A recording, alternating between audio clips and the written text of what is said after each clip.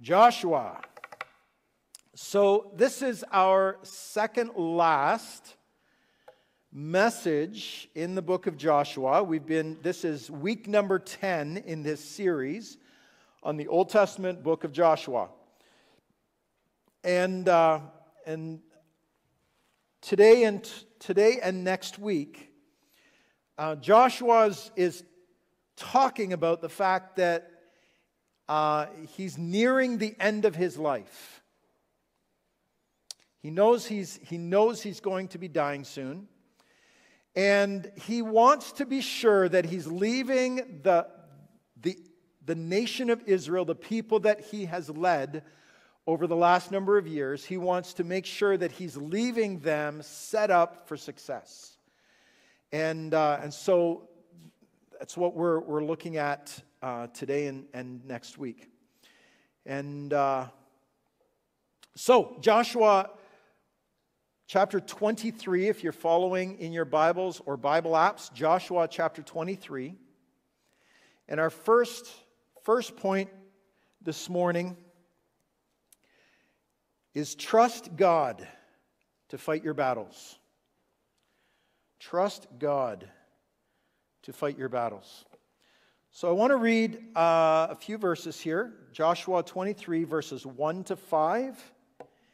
And then it picks it up, the same theme again, in verses 9 to 11. So we're going to go 1 to 5 and 9 to 11. We'll come back and do verse 6 after. So after a long time had passed, and the Lord, just a reminder too, um, it's important when, I, I think it's important when we're reading the Old Testament and we see this Lord, capital L, capital O, capital R, capital D, we remind ourselves constantly that that is, uh, it's, a, it's a code for God's actual name, Yahweh, which means I am in Hebrew, right? But it's the, it's the name of God, the name of Israel's God, Yahweh. So when we see this, all caps. Now, when you've got capital L, small o r d, that's a different word, right? But this is Yahweh, right? So, after a long time had passed, and Yahweh had given Israel rest from all their enemies around them, Joshua, by then, a very, was a very old, a very old man, summoned all Israel, their elders, leaders, judges, and officials, and said to them, I am very old. You yourselves have seen everything the Lord your God has done to all these nations for your sake. It was Yahweh, the Lord your God, who fought for you. Remember how I have allotted as an inheritance for all the tribes of all the land, all the nations that remained, the nations I conquered Joshua says. So he led them. It was him, in some sense, that conquered these lands between the Jordan and the Mediterranean Sea in the west. Yahweh, your God Himself, will push them out for your sake. He will drive them out before you, and you will take possession of their land as Yahweh, your God, promised you. Then down to verse 9 Yahweh has driven out before you great and powerful nations. To this day, no one has been able to withstand you. One of you routs a thousand, so defeats a thousand. One of you routs a thousand because Yahweh your God fights for you, just as he promised. So be very careful to love Yahweh your God.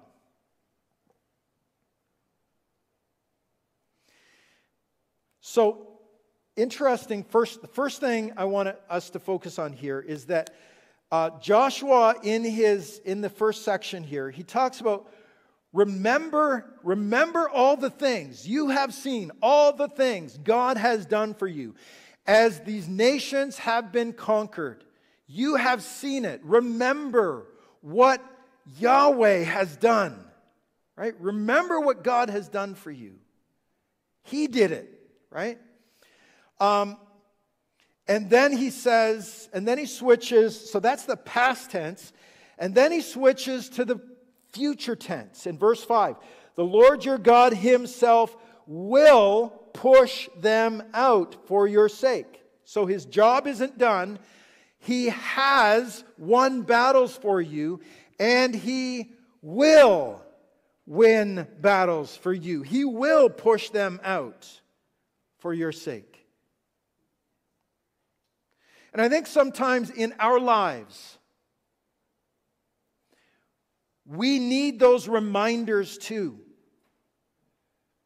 One of the reasons that I think, as followers of Jesus, we sometimes slip into, fall into, give into fear in our lives panic, anxiety. Oh no, what am I going to do? Right? Oftentimes, the reason we fall into fear as followers of Jesus is we, first of all, forget what God has done for us. We forget that it was Him that did it, right? We, we, you know, we remember our lives and we're like, oh, yeah, I went here, I went there, I did that, this happened, you know, and that mess happened, and oh, I got out of that one. And, and we forget that it was God that did it right? He fought our battles. He was there in the mess, picking us up when we fell down, pushing back the enemy who wanted to destroy us. He was the one that brought about the miracle that got us back on our feet. It was Him, and we forget that. And if we forget that, then we forget that it's Him that's going to be with us tomorrow when the next thing hits our lives right? And so Joshua is reminding the people remember what God did, because that same God who was there with you, who fought those battles, who got you through, who made you victorious, that God is going to be with you tomorrow when you face the next challenge that you face.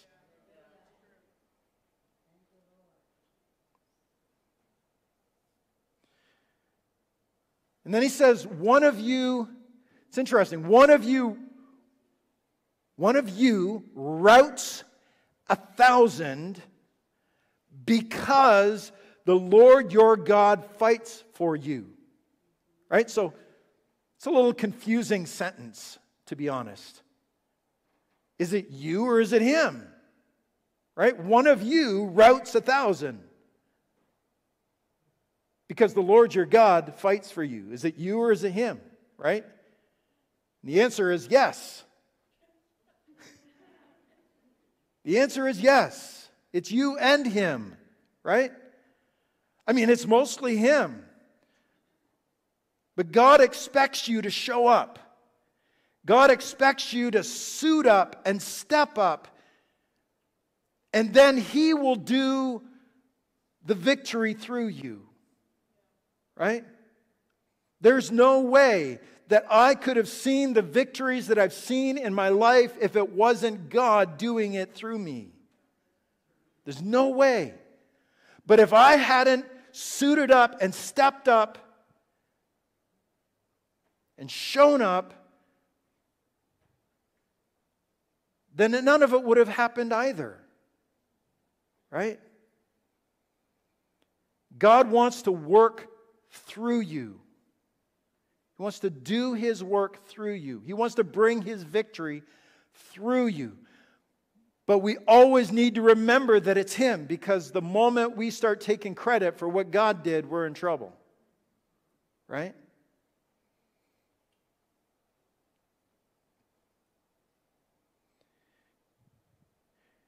Second, second thing that I think this passage, this phrase tells us is that imp- impossibilities are nothing to God.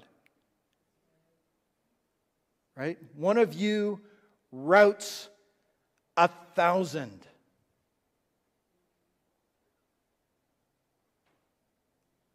You got a thousand things coming against you. You got a thousand demons that want to kill you. And yet you will be victorious Why? Because impossibilities are not a problem for God. Being outnumbered is not a problem for God. Right? The sign that you saw on your way into the parking lot this morning says, Remember, every miracle started as a crisis. Every situation that you face that you're like, ah, what do I do? Look what happened. It's not a problem for the God of impossibilities. Amen? One of you routs a thousand. And then he says in verse 11, so be very careful to love the Lord your God, Yahweh your God. It kind of almost doesn't seem like it fits. He's talking about all this victory and God's going to win the victory and, you, you know, all this. So be very careful to love the Lord your God. God fighting for us is based on our relationship with Him. Right? Romans 8:28 says this, and we know that God causes all things to work together for good to those who love God. That's an important qualifier, right? This doesn't mean that God causes all things to work together for everybody in the world. Because a huge number of people in the world have said to God, I don't care about you. I don't want you in my life. I don't need you. Thank you very much. And so God just says, All right. See how that works out for you.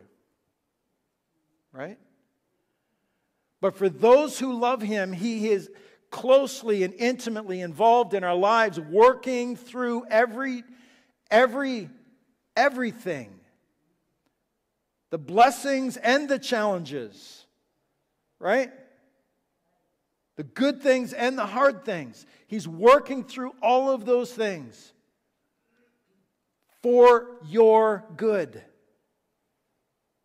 He's fighting for you because of the love covenant relationship that you have with Him. You're in His family. Don't mess with His family right? Mess with me, you mess with my whole family.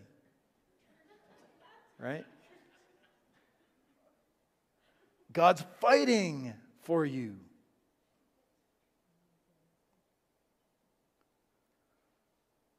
Make sure, be very careful to love the Lord your God.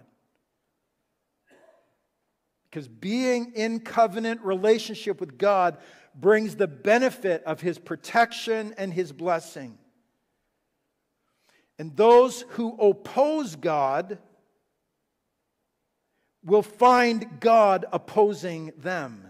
And that is not a place that we want to be in. I'll say that again. I think it's worth saying for clarity. Those who oppose God will find God opposing them. And Israel themselves that Joshua was, was writing to at times in their future. At times, you know, Joshua hoped that they would just stay faithful to God for the rest of their future, but they didn't, right? The, the, the, the Old Testament tells the story of Israel again and again being disloyal to Yahweh, being disloyal to their God, and God actually used their enemies against them he actually fought against Israel to discipline them and correct them and to bring them back on track. God chose the other side. And we don't want to find ourselves in that situation. So stay close to Him, draw near to Him, walk with Him, and you will find God fighting for you and through you. Secondly, verses 6 to 8. Be very strong. All right. Verse 6 Be very strong. Be careful to obey all that is written in the book of the law of Moses without turning aside to the right or to the left. Do not associate with these nations that remain among you. Do not invoke the names of their gods or swear by them. You must not serve them or bow down to them, but you are to hold fast to Yahweh, your God, as you have until now. It's interesting that these things that Joshua says to the people gathered, I don't know if he was at his deathbed or on his deathbed or how close he was to, to dying, but, but he's gathered these people to talk to them, have this last conversation with them. And it's interesting that the very same things that Joshua says to them are the things that God said to him back in Joshua chapter 1 when we, when we started this, this series. We looked at that, where God three times said to Joshua as he's getting ready to lead these people across the Jordan River and into the promised land, God says, Be strong and courageous. Be strong and courageous. Be strong and very courageous. Right? Three times. And he tells him to not turn to the right or to the left, but to follow all the, all the words of the book of Moses. So now Joshua is saying those same things. He's getting ready to leave the world, and he's telling those that he has led that it is now their turn to live out these principles as he had showed them. It's interesting. I, we sang the song Yeshua earlier this morning. And most of you probably know what that means, but it's Hebrew for Joshua and Jesus. It's the same name, right? Joshua, we've said this before. Joshua and Jesus in Hebrew are the same name.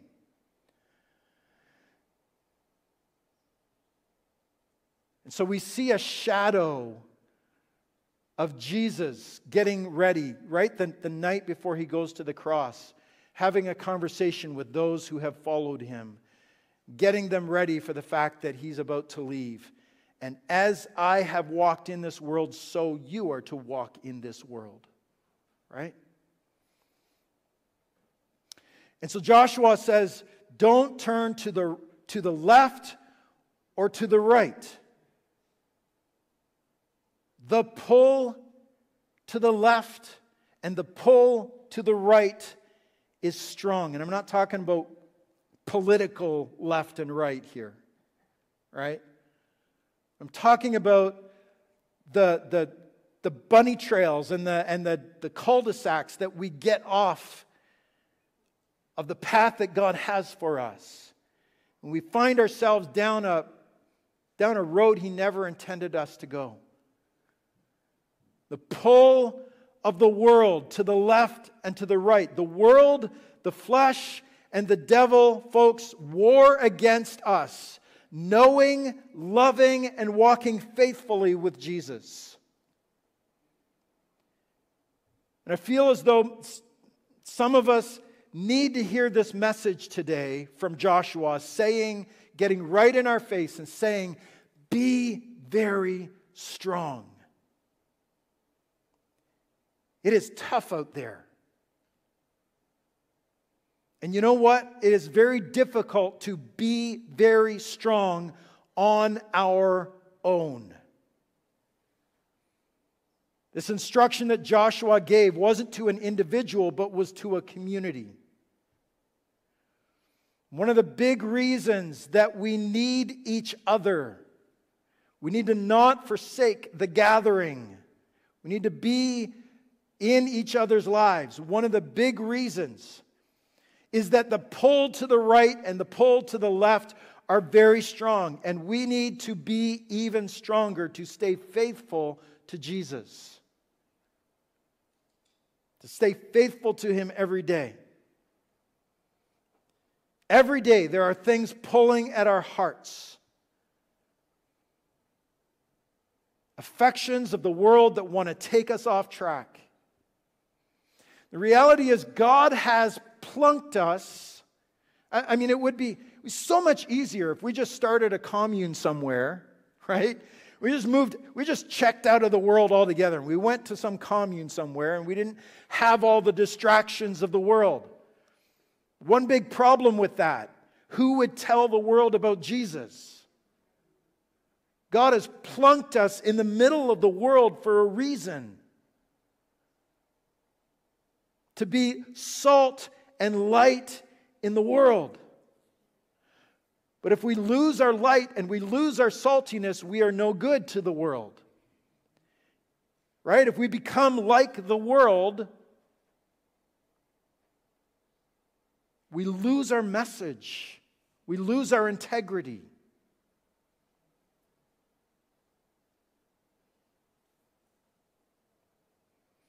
The messages that the world throws at us, telling us it's all about you. It's all about what you want. It's all about what you need. Grab all you can while you can, because it's all about you. That's the message of our world. Boiled down in a nutshell, it's all about you. Because the world, the world's message is you're God. The, wor- the universe revolves around you, right? Joshua tells these people, but you are to hold fast to Yahweh your God as you have until now. Preaching to the choir because you're here, right? You want to serve Jesus, you're in the room. So I, I honor the fact, I celebrate the fact that you have made it this far, right? as you have until now, keep holding on to Jesus. Hold fast to the Lord. Lastly, God keeps his promises. Let's go down to verse 14.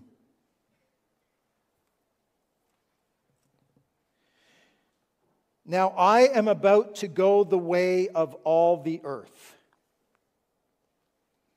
That's a, that's a phrase we come across once in a while in the Old Testament. It sounds a little weird to us, but he's saying, I'm about to die, right?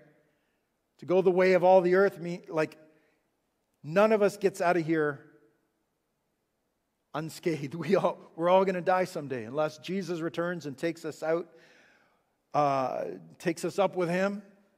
We're all going to die. That's the way of all the earth, right? So Joshua says, I'm about to go the way of all the earth. This is, you know, my last will and testament. You know with all your heart and soul that not one of all the good promises of Yahweh your God have that Yahweh your God gave you has failed. Every promise has been fulfilled.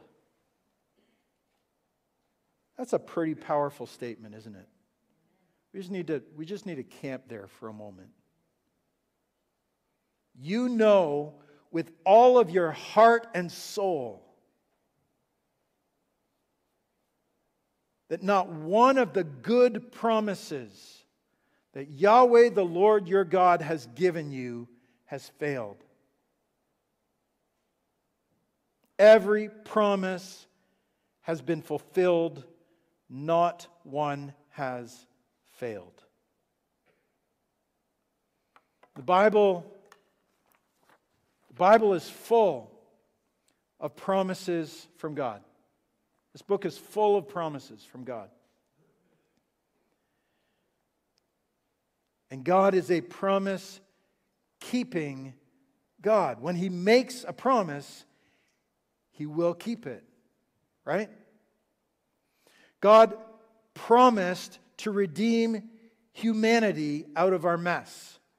In fact, the same day that Adam and Eve failed and fell into sin and rebelled against him, he said he would send someone to crush the serpent's head. And he kept the promise. He promised to Abraham that he and Sarah would have a son in their old age. And he kept the promise. He said that through that son, he would raise up a nation, and through that nation, the whole world would be blessed. And he kept that promise. And he promised that when the Messiah comes, he would be pierced for our transgressions, he would be bruised for our iniquities, and the wounds that bring us peace would be on him, and by his wounds we are healed. And he kept that promise. There are hundreds of promises that God has made in the scriptures. Hundreds of them have already come true, and hundreds have yet to come true. They're, they're for the future. But God has shown us that He is a God who keeps His promises and that His promises are good. He has shown us that he will keep his promise even if it costs him everything.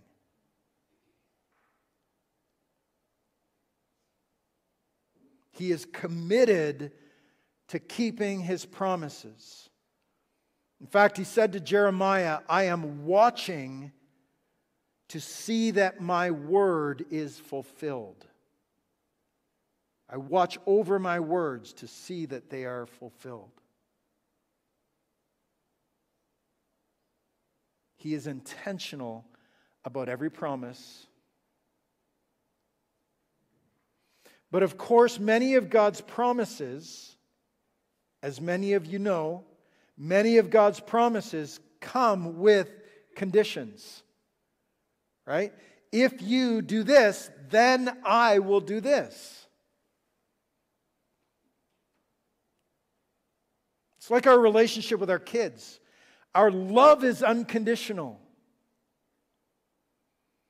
But some of the blessings are conditional, right? We would be foolish to reward bad behavior or a bad attitude. We want to help our children become mature and responsible. And when they show themselves to be that, then it unlocks blessing in their lives. When they rebel or behave badly, then blessing is withheld for their good. For their good. So God promised in the passage, uh, just read on a little further.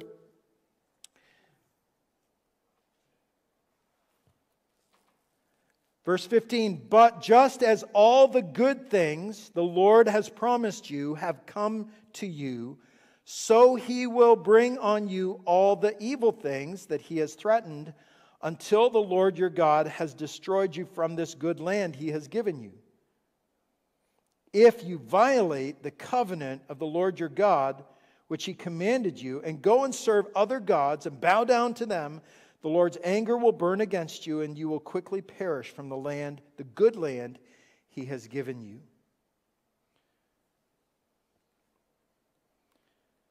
So God promised judgment would come on Israel if they broke the, the covenant. All God's promises are good, Joshua said. All these good promises.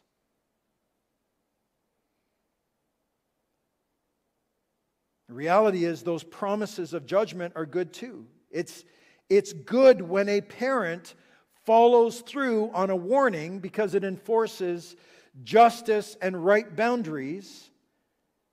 And so God watches over those promises as well. Because it's all about relationship, isn't it? It's all about our relationship with Him. He invites us into the blessing of knowing, with him, knowing Him, walking with Him, receiving all that He has stored up for us. I'm going to ask the worship team to come on up as we get ready and those who are serving communion to get ready.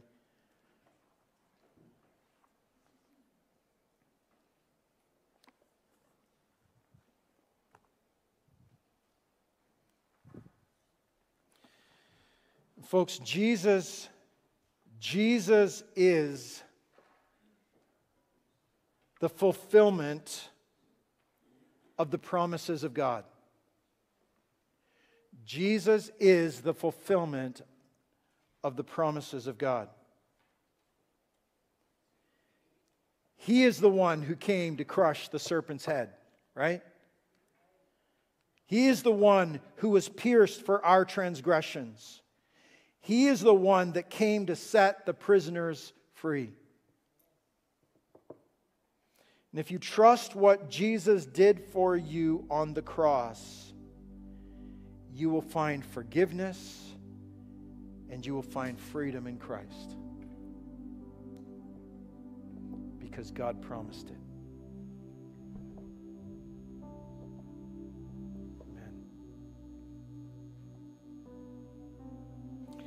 So we're going to prepare our hearts to receive communion this morning, to receive the symbols of broken body and shed blood of Jesus. As I often say, um, first of all, very practically, the trays that will come around have two cups, one inside the other. Just take them both out and separate them. The bottom cup has the, a wafer in it, the top cup has the juice, and just hold on to them until we all have them and we'll, we'll take them together. And secondly, doesn't matter what your church background is, uh, if you're here this morning and you trust Jesus as your Savior and Lord, you're welcome at the table. And, uh, and so feel free to, to join us in, in communion, to receive the elements as they, as they come by. Um, if you're still on a journey, you're not quite sure about this Jesus thing yet, you're still in process. We want you to know that's okay. We welcome your journey here. We welcome the process. And if you don't feel like you're ready to receive communion, then just pass the pass the tray by, and uh, and there's no judgment, right? But we will continue to pray for you that God will bring you to a place where you come to know Him as your Savior and Lord. And maybe that day is today, and maybe that moment is right now. If you're ready to say, Jesus, I believe you, Jesus, I trust you, then you're ready to take communion. Receive it today. Worship with us as the team leads us and communion is brought to you.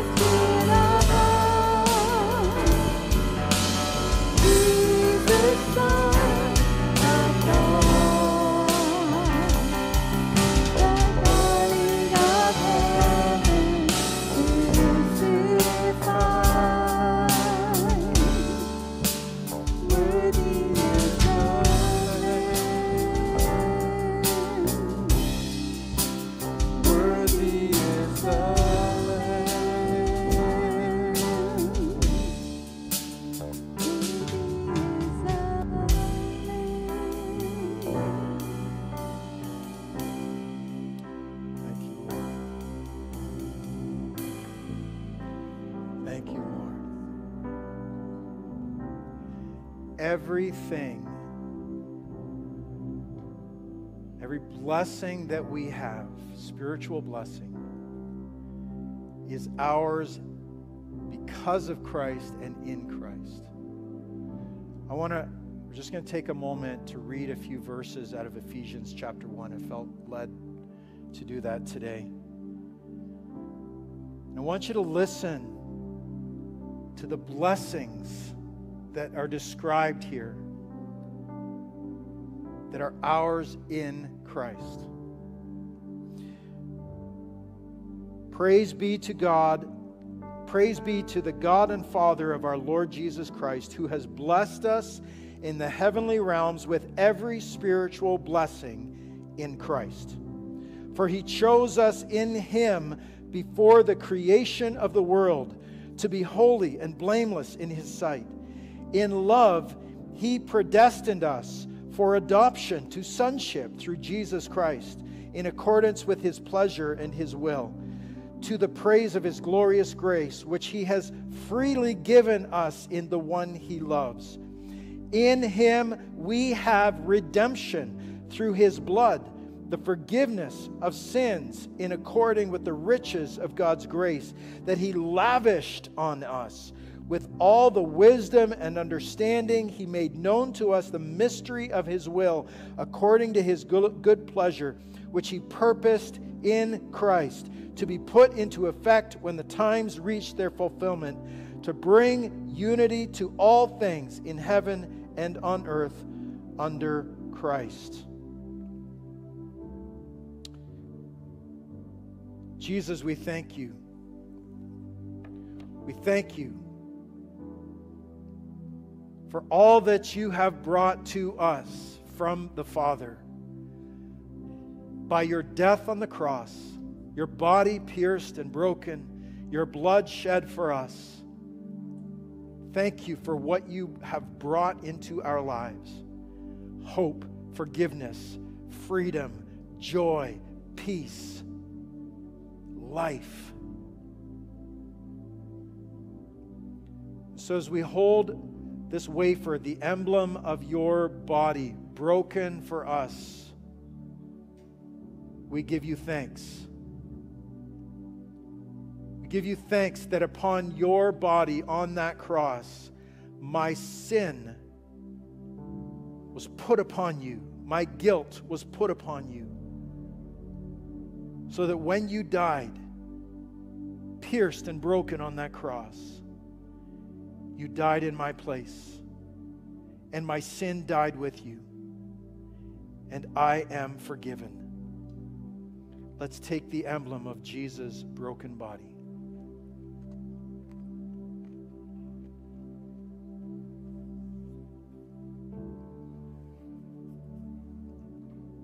Jesus, thank you for your blood shed on the cross. Thank you that your blood has purchased our redemption, our, our freedom from slavery to sin.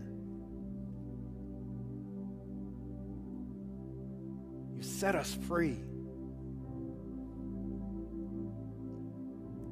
And by your blood, you have reconciled us to the Father so that we can know his love and his peace. And by your blood, chains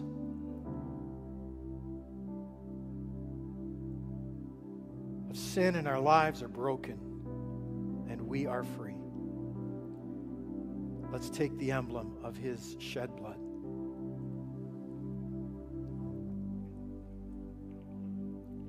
And let's stand and worship him together. Worthy is the Lamb seated on the throne. Lift him up this morning. He's worthy of our worship. Crown you now with many crowns, Jesus. Hallelujah. You reign